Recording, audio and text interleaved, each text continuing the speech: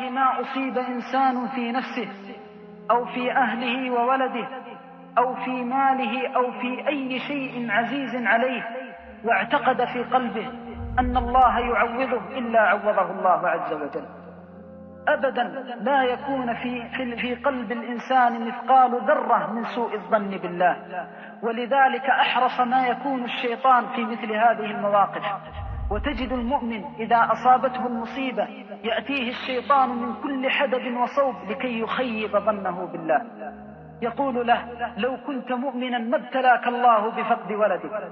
ولو كنت مؤمنا ما ابتلاك الله بفقد بنتك. ولو كنت مؤمنا ما ابتلاك الله بفقد مالك. ولو كنت ولو كنت. ولكن ما أحسن عبد ظنه بالله فخيبه الله أبدا. إياك أن يدخل إلى قلبك مثقال ذرة من سوء الظن بالله عز وجل. فلعل المال تفقده فتخرج منك كلمة عند الفقد تثني بها على الله. يحبك الله حبا لا سخط بعده وقد يرفعك الله بهذه الكلمة إلى درجة لا تبلغها بكثير صلاة ولا صيام.